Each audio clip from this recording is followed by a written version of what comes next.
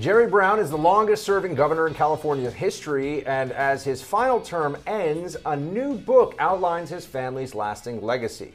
He and his father, Pat Brown, were staples of California politics for decades, both serving as governor, but their policies couldn't be more different. Pulitzer Prize winning author Miriam Pawel's new book, The Browns of California, looks at the father and son's political journeys and the impact that their contrasting policies leave behind. It's great to have you. Thanks for having me. So, how did the Brown family get their start in California politics? Um, Pat Brown was the grandson of a Prussian immigrant. So, hmm. like many in California, California is a state of immigrants. Um, he came, he had a lower class upbringing and uh, managed to run for governor in 1958 and be the first Democrat elected in decades in California as governor. So that really set the stage for both his own reign and his son's. And so, what were the contrasts between the, the two of them, the father and you son? You know, Pat Brown is your classic 1950s backslapping, baby kissing politician who was the perfect governor for this era in California when the state was growing by a thousand people a day that were moving there after the war and a thousand babies being born. Wow. And Pat Brown presided over the construction of the water project, the highways, the universities. And then his son, Jerry, was elected the first time governor in 1974. He was 36 years old. He was dating Linda Ronstadt. He was the post Watergate, post Vietnam generation. So there, um, there are a lot of common parts of their philosophy in terms of um, their moral values and their embrace of things that make California California. But you know, they're different. It was a huge generational change. What was the relationship like between father and son? Um, I think like a typical father and son relationship. There was a lot of talk at the time. I mean, Jerry needed to distinguish himself from his father. He was Edmund G. Brown Jr. That was part of why he got elected. But suddenly you've got this kid who's the governor and, you know, a legislator legislature that is, on average, probably twice his age. Um, so the first time around, he was kind of went out of his way to not be his father, and um, was a lot of t- Pat Brown would try to recommend people and candidates for jobs, and they would invariably be rejected. So, so Jerry Brown gets elected first in the '70s, right. and then again in you know right. just here recently. What was he doing in between? Out How did that work out? Out of office from 1982 until 1998 when he staged his political comeback by being elected mayor of Oakland. Huh. A pretty unlikely platform to kind of stage a comeback like that. But he did a lot of things. He was he was he ran for president. He ran twice for president in 76 and 80 while he was governor and then again in 1992 against Bill Clinton, actually some famous debate scenes there and uh, he did, was a radio show host. He studied Zen Buddhism in Japan, um, traveled around the world, and then but was kind of a complete political creature. I mean, the Browns are just as political a family as the Kennedys, but mm. we kind of hear a lot less about them, I think, because they're in California. Uh, tell me a bit about the influence that women had in the lives of both these men. My understanding is in the book you go into this in some detail. Yes, um, you know, people know more about Pat and Jerry because they were both governor, but there is a really interesting, the book starts with Jerry's great grandfather, August Schuckman, the pioneer, whose daughter, Ida, his Jerry's grandmother, Pat's mother, was really the matriarch of the family. And then Jerry's mother, Bernice, was a precocious student who went to the University of California Berkeley when she was 14 years old.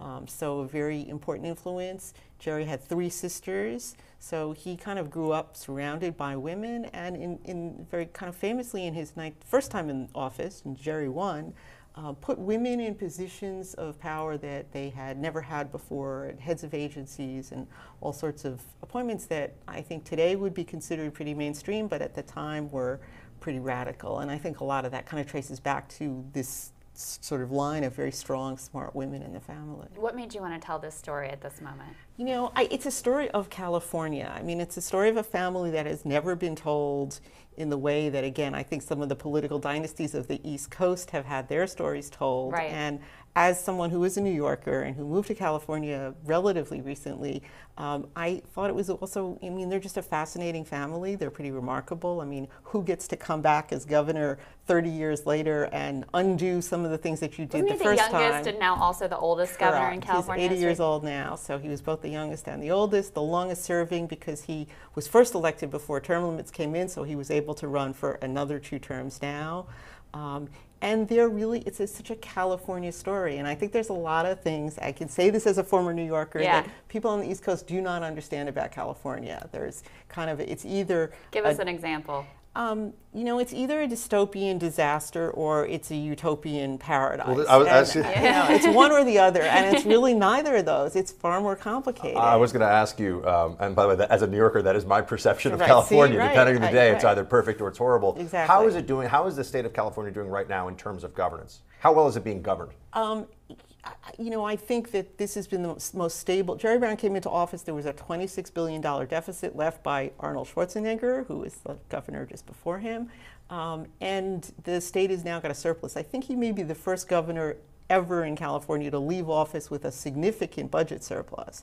So it's doing well financially in that sense. We also have high poverty rates, high problems with homelessness, Inequality. housing, income inequality is a huge problem.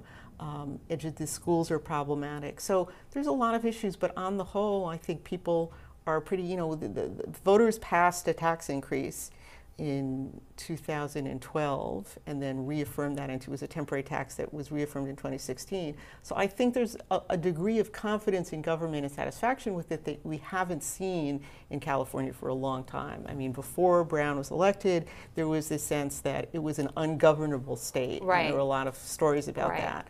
Um, so things are stable. California's budget is very dependent on the super wealthy.